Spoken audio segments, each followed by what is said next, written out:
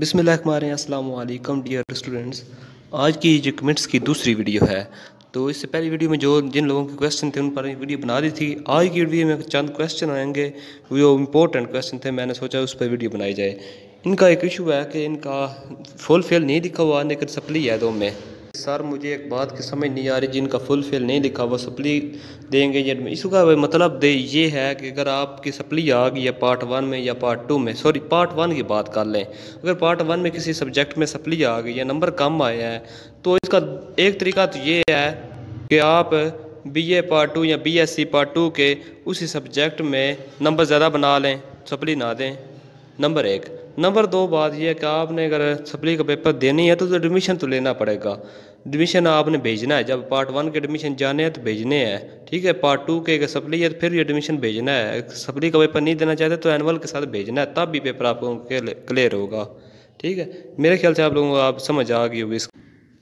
जी का फोर्थ के एग्ज़ाम लेगी 2021 के एंड जिनकी सप्ली है, उनके एग्ज़ाम कैसे होंगे एनअल होंगे सप्ली होंगे, यू जी का, जो भी एग्ज़ाम वाला सिस्टम है, वो ईद के बाद आएगा नोटिफिकेशन एंड जो पार्ट वन है, उसकी सप्ली का पेपर नहीं होता, उसका एनअल ही होता है।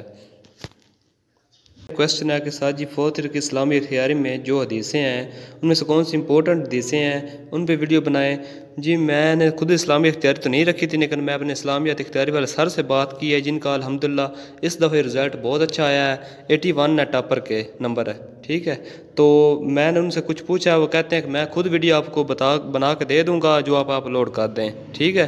तो कुछ उन्होंने मुझे छाट कर बताया है कि हदीसें फार्टी सिक्स हैं, जिनमें से ट्वेंटी या ट्वेंटी फाइव कर लें, ट्वेंटी फाइव पहले कर लें तो आप उनका पेपर हो जाएगा, और ट्वेंटी फाइव में भी इंपॉर्टेंट वो हैं जो पेपर पास पेपर में आ चुकी हैं पास पेपर आपको मिल जाएँगे ट्वेंटी ट्वेंटी वन के सॉरी 2019 और 20 के मेरे चैनल से मिल जाएँगे और 2015 से ले तेरह से लेकर 2018 तक वेबसाइट से मिल जाएँगे। मैंने तरीका बताया कैसे डाउनलोड करने हैं।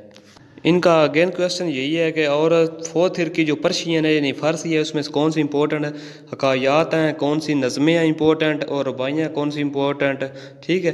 देखिए जी पर्शियन में आप आप लोगों के नंबर अच्छे आएँगे तो आप लोगों को पता है आपके नंबर इंक्रीज़ होंगे डिग्री अच्छी होगी। ठीक है गुड लक उसमें आएगी। ठीक है नाइनटी नाइन्टी मार्क्स इजीली आ सकते हैं नाइनटीन मार्क्स नाइन्टी प्लस भी आ सकते हैं।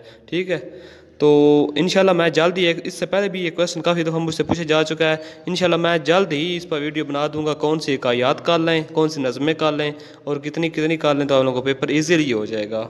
ठीक क्वेश्चन बहुत रेलिवेंट है और बहुत इंपॉर्टेंट क्वेश्चन है इनका।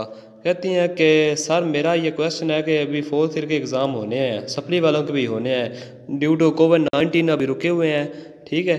तो अगर इसमें यही बात है, अगर खुदा के कामों को तो ऐसा कोई नहीं जानता, अगर कोविड नाइन्टीन बढ़ गया, इसकी शरह और बढ़ गई तो सप्ली वालों के पेपर में भी ना हो, उनके एनुअल के साथ ही हो जाएँ, मे भी।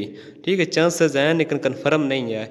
अगर ईद के बाद ये इदारे ओपन कर दिए जाते हैं, जैसे उन्होंने कहा है, पंद्रह जून तक काम कर देंगे तो मे भी पंद्रह जून के बाद फ़ौरन पेपर हमारे शुरू हो जाएँ। ठीक है, बच्चों के। ये क्वेश्चन आपका अच्छा है, ठीक है, देखेंगे इन ईद के बाद इसके बारे में।